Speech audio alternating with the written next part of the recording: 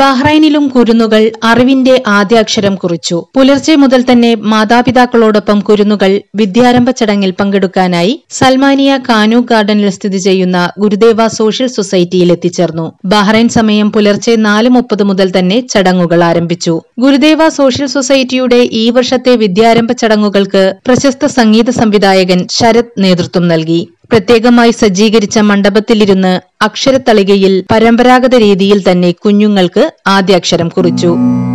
സിന്ദൂരാരുണ വിഗ്രഹ ത്രിനയന മാണിക്യമൗളി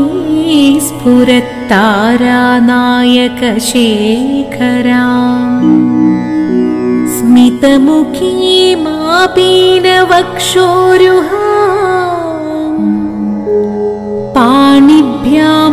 पाणिभ्यामणिपूर्णरत्नचषकम् रक्तोत्पलं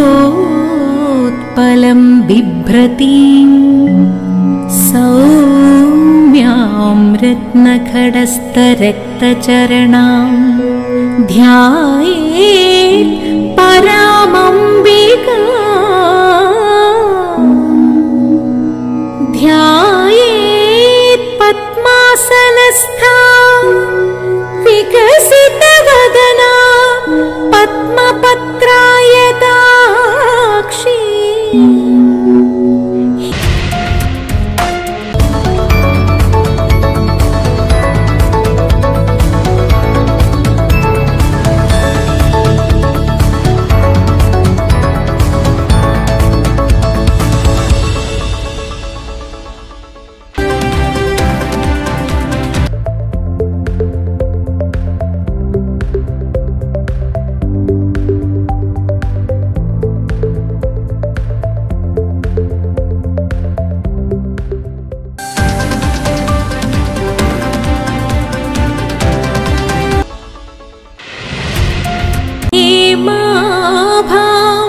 हेमाभां पीतवस्त्रां करकलितलसद्धेमपद्माम्बराङ्गी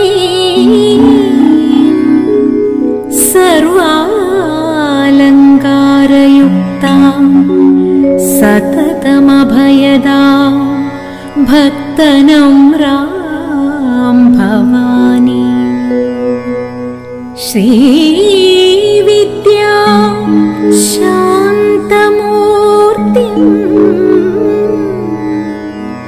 सकलसुरनुतां सर्वसम्पत्प्रदात्री।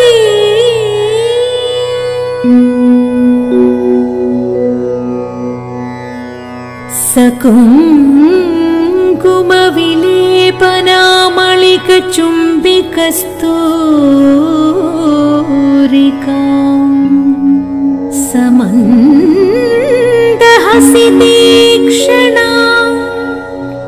सशरजापपाशाङ्कुशा अशेषजनमोहिनी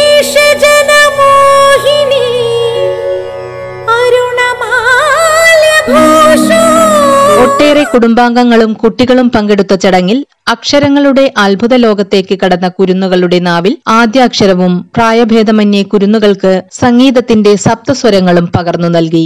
ചടങ്ങുകൾക്ക് director board അംഗങ്ങൾ നേതൃത്വം നൽകി.